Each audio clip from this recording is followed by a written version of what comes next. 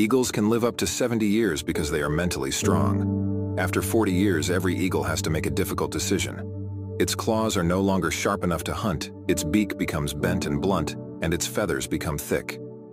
The eagle has two options. Either it dies or it goes through a painful change. This painful change is that the eagle must go to the mountain and crush its beak on a rock until it falls out. When the old beak falls out, a new beak grows in. With the new beak, the eagle rips out its claws and new ones grow in. Then the eagle plucks out its feathers and new ones grow in. This painful journey lasts 150 days, but after doing this, the eagle gets a new life.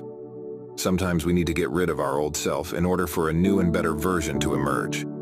If you're not following us, you will probably never hear my voice again. But if you are, congratulations. You're growing every day.